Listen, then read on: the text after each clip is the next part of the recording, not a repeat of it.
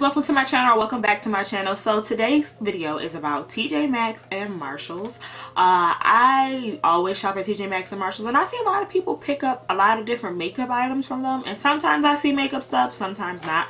But I went to Philly last weekend so I was in their TJ Maxx and their Marshalls and they had some good stuff. So I'm just gonna show you guys what I got. Let's get right into it so the first thing was these Real Technique sponges. I got four and they were $12.99. I forget how much Real Technique sponges are, if they're $10, if they're $6 or one or the other. I don't know, but either way, this is a steal. Get, you know, four sponges for $13. That was just great.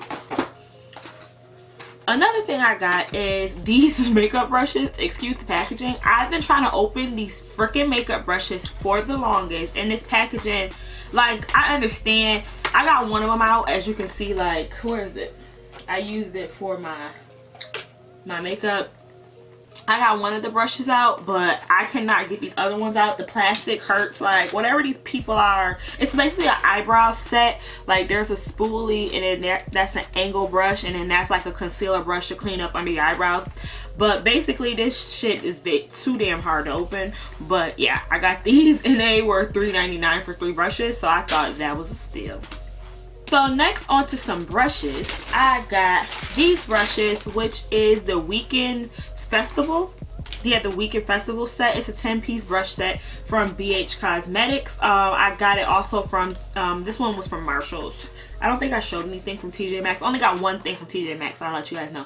This was from Marshalls and this was $12.99. These are what the brushes look like. They're really pretty and they're pink. They had another set um, but that, that set had a lot more like face brushes. This set has, show you guys the back. This set has a lot of eye brushes. And it also has some face brushes too, but it has a lot of eye brushes. And here are the brushes. I have used two of them already.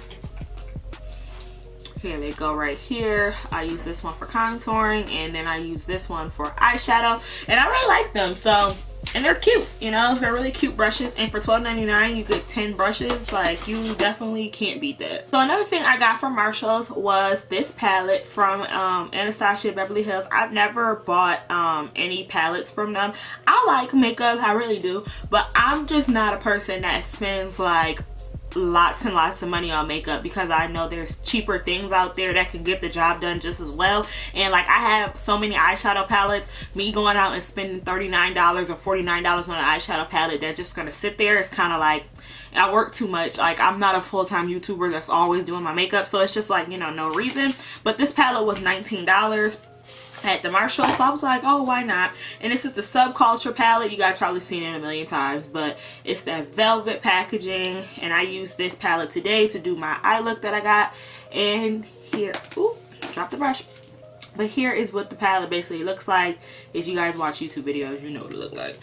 But yeah, I just got this. I thought it was, you know, cute. And for $19, basically $20, that's not a bad price for, you know, Anastasia Beverly Hills palette. I'm just not the person that's going to spend regular price on them because I just have so much makeup and palettes at this point. There's no point, you know?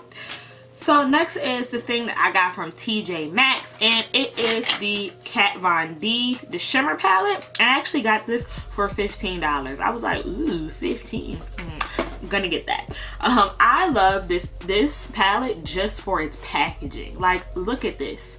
I'm sorry, I'm looking at the viewfinder, but look at this. Like, this packaging is beautiful, okay?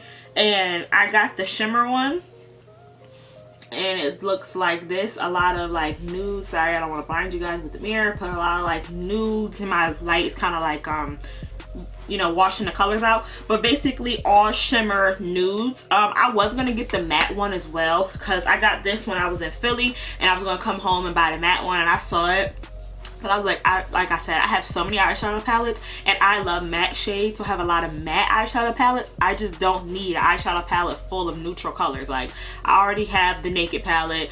I have, you know, other palettes from like Juvia's Place that have um, naturals in it. So it's like, I don't really need it. But the shimmer one, I was like, eh, I guess, you know, I could do, I could do. So last but not least, I'm just going to add in two products that I got from Ulta because it's no point in doing Ulta haul because only two of them.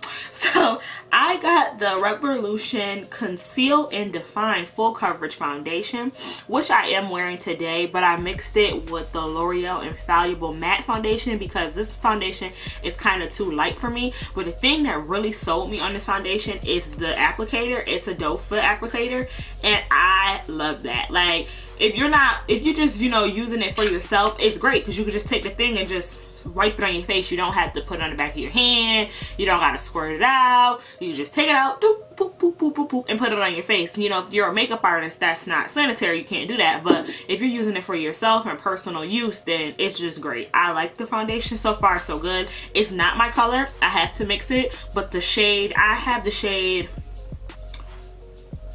F13 but F14 was too dark and F13 was too light so I had to like mix it but ah so far so good on that.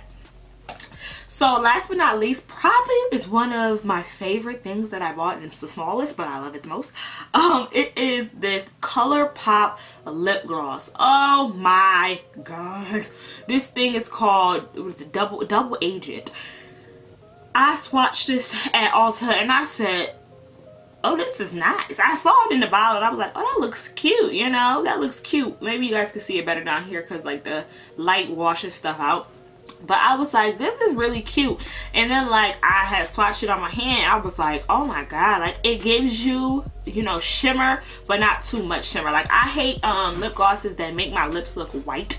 Um I'm darker so I can't walk around with certain lip glosses because you know i'm a dark skinned woman i'm not white so i can't you know wear certain lip glosses and stuff that have like certain color to them because it just makes my lips look ashy. This right here gives you like a a purple sparkly you know tint and it's just cute okay? It's not too much it's just really good and it's like really glossy. If you guys know the Nicka K lip gloss which is do I have it this is the Nicka K lip gloss. Um, you guys might be, sorry I hair on it. It was in my makeup bag.